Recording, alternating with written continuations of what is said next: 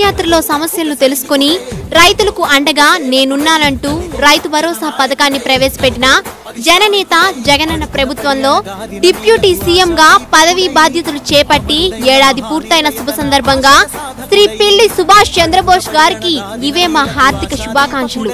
ఇట్లు ముమ్మిడిశెట్టి సూర్యనారాయణ దంపతులు వైఎస్ఆర్ గ్రామ అధ్యక్షుడు టేకి తూర్పుగోదావరి జిల్లా కుక్కల సుబ్రహ్మణ్యం ప్రాథమిక వ్యవసాయ సొసైటీ చైర్మన్ కట్టా మురళి గ్రామ వైఎస్ఆర్ అధ్యక్షుడు కపిలేశ్వరం బాలయ్య గ్రామ వైఎస్ఆర్ అధ్యక్షుడు టేకీ వన్ తూర్పుగోదావరి జిల్లా.